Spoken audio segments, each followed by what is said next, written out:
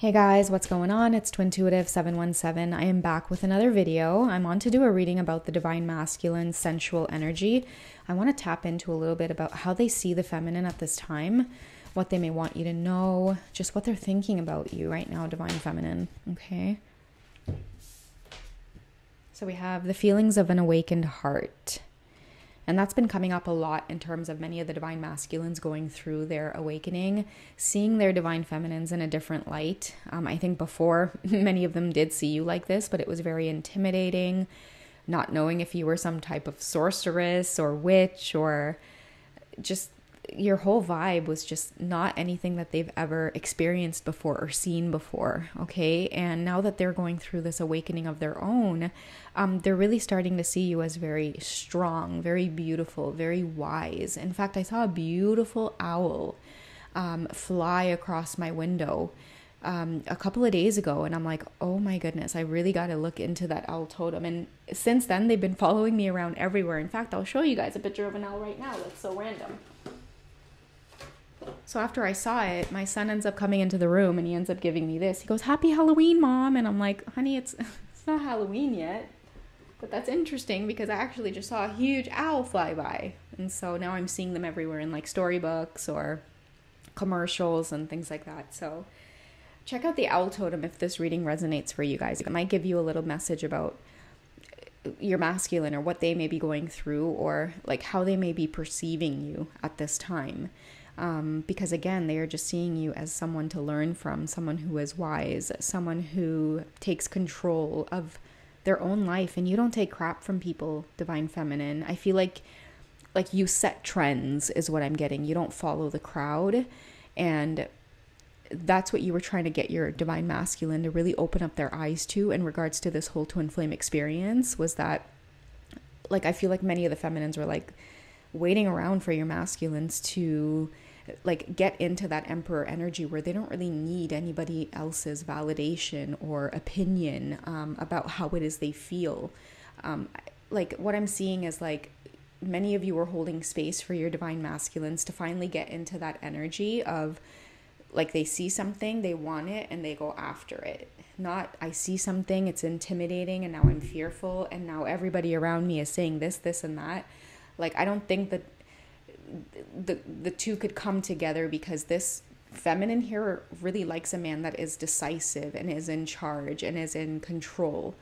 Okay, so it's really put this masculine to to think. A, a lot of them too have just kind of gone silent um, with this energy here. Okay, these are way too many, but I think I will just take three.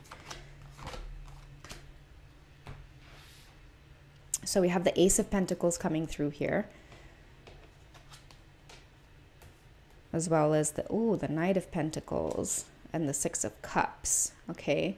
So what i'm seeing with the ace of pentacles is like it's this beginning to this new type of connection being involved with someone body mind and spirit with the three candles here and that's what they've never experienced before. Um, and i think too like in the beginning when they saw you and they started to get to know you they never thought that it would be this type of um, like spark of, of inspiration to want to be in a relationship. Like this might be a masculine too where it's like he he never thought about relationships like that. Do you know what i mean? Like like they would be in relationships sure but always with with the intention of like no commitment. Like if we're in a relationship you just know like i'm not interested in marriage i'm not interested in having kids i'm not interested in making any kind of commitment we're just dating and then he meets his divine feminine, and it's like all these feelings come rushing in about wanting to be with you intimately, like wanting to settle down with you, make an offer, uh, start a family. Because he sees you again as this like independent goddess. You could do a lot for yourself. And I feel too, divine feminines, for many of you, it wasn't always this way, which is why you might have had that push and pull um, with your masculine. Like a lot of you started off as um, I don't know, like like like you didn't really have a lot of resources or you didn't really have a lot. And it made it easy for this divine masculine to to, to kind of look at you and then oh, okay okay and then look at all of his other options and things like that. And like i feel like like that is what a lot of them are silent about right now because they didn't expect you to go through a transformation where now all of their options can't even hold a, a, a candle to you. Do you know what I mean? Speaking of a candle, they can't hold a candle to you. And look at the beautiful candles here in this card. What I mean by they can't hold a candle to you, Divine Feminine, like, I feel like a lot of masculines in the past, like, they always thought that they would find a partner who would just like rely on them and like they would take care of them. But now that they've been in these types of dynamics, like it's not as easy to be with someone who just kind of looks to you to get everything done. Like a lot of them are waking up and realizing that they're in relationships where it feels like they're taking care of like a child or something, like an overgrown child, you know what I mean? Like a lot of these like karmic partners that have been with them have just been with them solely to like shack up and and and depend on them to kind of go out there and like create and build. And then these karmic partners would kind of just sit around and enjoy. And and I think that many masculines out there are starting to really see that that whole idea is just really outdated. Like I feel like when they look at you divine feminine like without a doubt you would build with them. I think it would be really uncomfortable for you divine feminine to just kind of sit around and expect this masculine around you to just do everything and to take care of everything. And like what i'm seeing with the karmic partners is that like they don't like to push themselves out of their comfort zones. And i think that many of your masculines have been waiting to see that happen. And it's just kind of like settled into this like routine is what i'm getting okay? And that's why i feel like the six of cups is coming through here as well. Because um you persevere, divine feminine. I feel like a lot of you had that to offer to your divine masculine where you know you really had it in mind that you two would come together like you two would be building and you would show him what it was like to be in a connection with someone who has respect for him who honors his time who honors his energy i feel like a lot of the times like they're with karmic partners who really don't know how to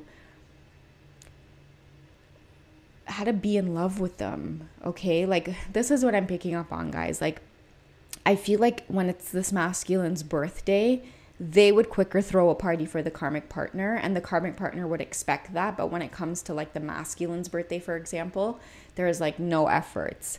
Or i feel like this karmic partner doesn't do enough to celebrate their connection with the divine masculine whereas the like how they feel about you or what they've observed about you divine feminine is that like you would be again that type of partner to celebrate them and support them and and genuinely love them. But i feel like it's just not like that in this karmic situation that they're in and they're starting to open up their eyes and see uh, the truth. And it's just a little uncomfortable right now, but yeah, keep on keep on trucking divine masculines. You guys are going to be just fine. And i feel like if many of the, the divine masculines are realizing this awakening is happening to them a lot of them are looking at their divine feminines as okay you know what? Like if she got through her whole like tower moments and the dark shadow and all of that inner work, like maybe I'll get through it as well. So now a lot of them are just kind of learning from you. Like, what did she do during this time? Like, what was she doing? What was she doing? I want to say during and doing, and I can't seem to get it out. What was she doing during this time? Like, when I could feel it energetically that she might have been struggling with something, like, where was she? And a lot of them are realizing that it's like, oh, wait a second you were MIA, just like they're being guided to just go MIA from everything right now. All right. So, yeah, that's just basically what's on your masculine's mind, the way that they see you right now, divine feminine. If you guys want to check out some more, some more sensual messages in this uh, same format here, go ahead and check me out on Patreon. I actually used my uh, erotic deck in those readings as well. I can't use these on uh, YouTube just because some of the messages are really, really explicit. Um, but yeah, if you guys are interested in seeing messages from this deck, which is a little a little bit more erotic, then check out that Patreon reading. But yeah, that's what I have for you guys for now. Enjoy your weekend, take care, and I'll catch you guys in the next one. Bye.